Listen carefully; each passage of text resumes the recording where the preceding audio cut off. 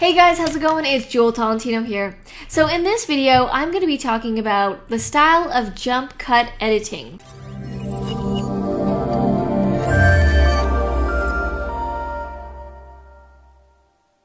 So, jump cut editing is a style in which you cut out all the pauses and the breaks and just mistakes in your videos, and you only have the good parts, and it makes for really fast cuts.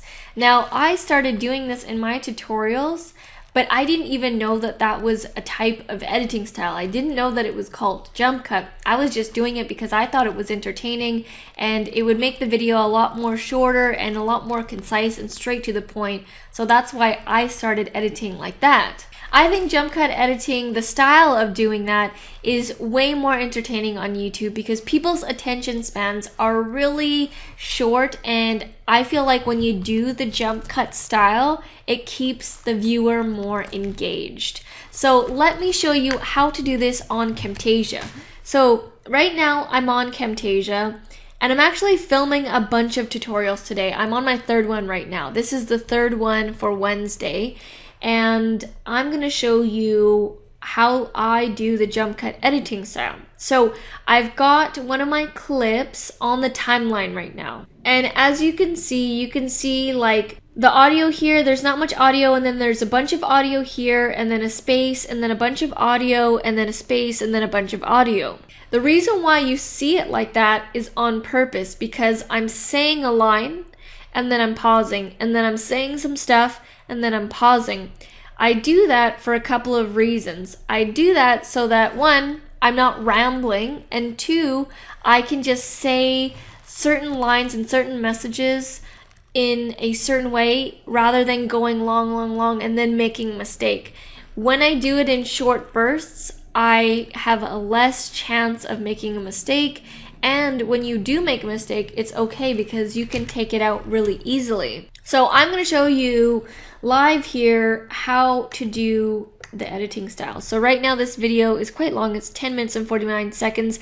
I'll do the first like minute or so so that you guys can get a feel for it. So you can see here, this is the beginning of the video. So I'm probably preparing my hair or just getting ready mentally to start the video. So I'll just play it for you. I'll play it for you in its original and then I'll show you the jump cut editing technique.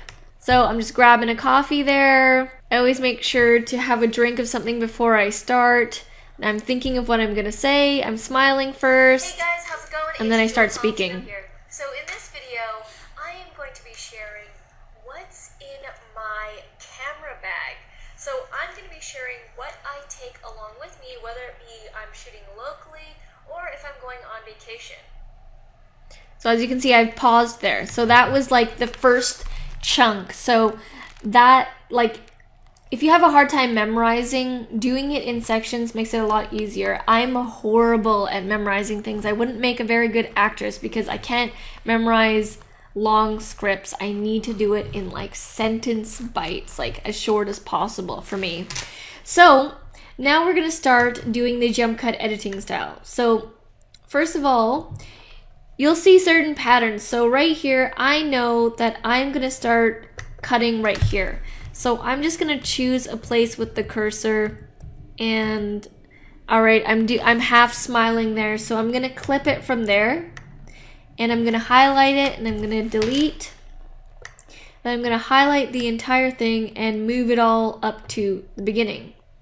Now at the very end, I'm talking about the bag and then there's a pause again. So I'm just going to play it. Whether it be I'm shooting locally or if I'm going on vacation. So now I'm going to stop and I'm going to get my cursor as close to the end as possible because I want to remove any of that dead air. So if you go close, you can see that I'm quite to the edge of the audio. Now, if you want to go closer in the timeline, you just click this magnifying glass right here. So that's the end of that audio. I want to get as close to that as possible. So I'm going to click split. Then I'm going to play a bit of the first one, the, the a bit of the second part here, the first section, to make sure that it's a clip that I'm going to be using. Okay, so let's start off with the bag itself. as you can see, Okay, so I'm, t- I'm still talking about the bag. So now I'm gonna clip it. I'm gonna clip all this dead air out. So let me just show you what it what it looks like with all that dead air in there. So it froze there just for a second. That's normal. I'm just thinking of what I'm gonna say next, and I'm preparing myself. Okay, so let's start. All right, so as you can see, there was a bunch of dead air. We don't need that. That's not entertaining for people. So I am going to cut it to the next clip and I'm gonna move the cursor so I don't look like this. So I don't wanna start it off while I'm looking like that. And I'm blinking there, so I wanna make sure we're gonna start it right here. Now you might be thinking, why do you want to start it right there?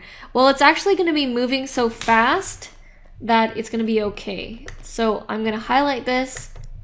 I'm going to clip it. I'm going to click delete, highlight this, move it over, and now it's going to play right after each other.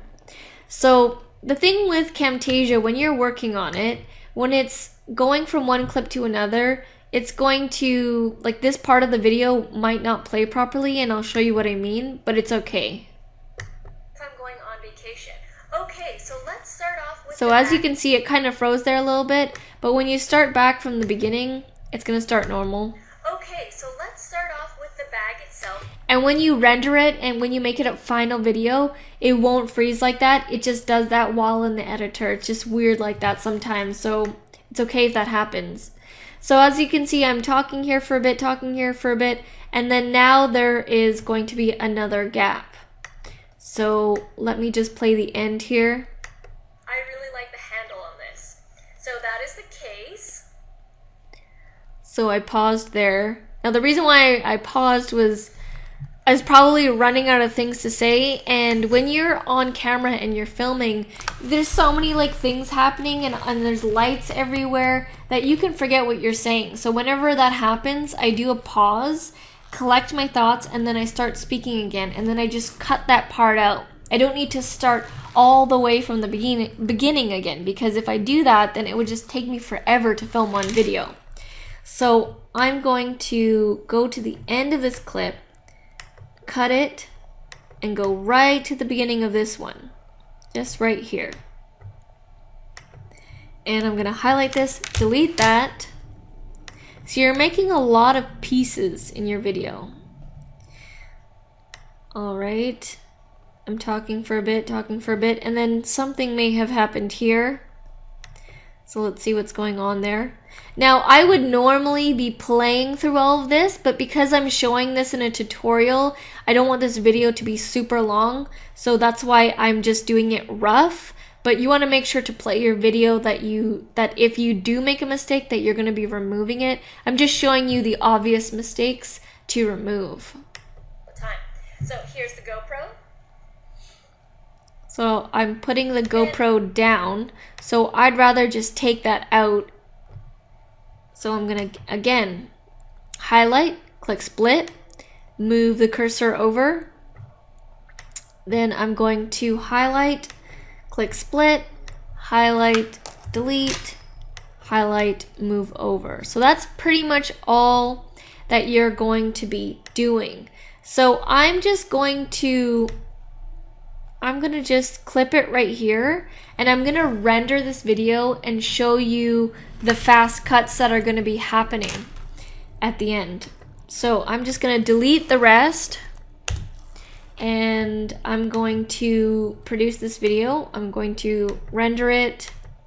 This is going to be a jump cut test so I can show you guys what it looks like in a final video when you do the jump cut editing technique. So I'm gonna click finish and I'll be right back when this video is done. Okay, so the video's all done, so let's see what it looks like with the jump cut editing style. Hey guys, how's it going? It's Jewel Tolentino here. So in this video, I am going to be sharing what's in my camera bag. So I'm going to be sharing what I take along with me, whether it be I'm shooting locally or if I'm going on vacation. Okay, so let's start off with the bag. So you saw there, that was the first jump cut right there was when I was putting the bag down and then all of a sudden I'm picking it back up. You remember there was dead air in there. So it allows me to say that first line, pause, collect my thoughts, and then say the second line without going through it all through one because when you do it like that i find that the viewer might get bored especially if you're not being entertaining and if you're not saying anything entertaining that the jump cut editing style will help make up for that okay let's continue on As you can see, it's small. It's not very clunky. I don't like a huge camera bag to be carrying a huge camera bag. I don't want the stuff to be super heavy.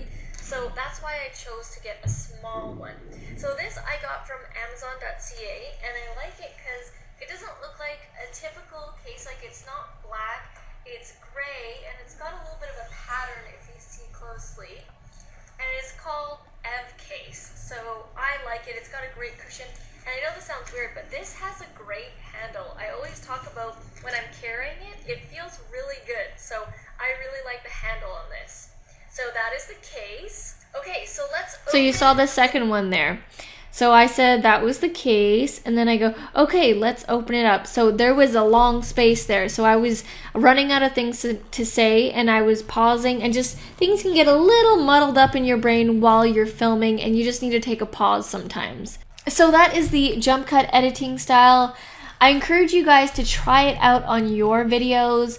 I personally think it's a lot easier to film with this kind of style, and I think it's a lot more entertaining. I think it adds more value and entertainment value to your videos. Alright, guys, well, thank you so much for watching. If you want more Camtasia videos, feel free to check out the description. I've got a ton more tutorials for you guys. Alright, guys, thank you so much for watching, and I'll see you in the next video back, back, back from the dead.